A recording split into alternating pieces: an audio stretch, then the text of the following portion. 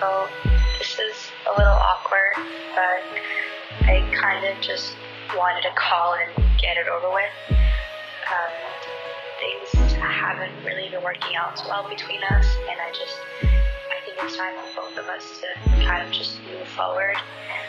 Um, I care about you a lot, but I think that this is the best decision